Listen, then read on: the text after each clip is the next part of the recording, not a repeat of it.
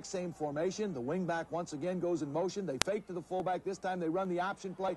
John Booty, number 11, makes an outstanding tackle right there.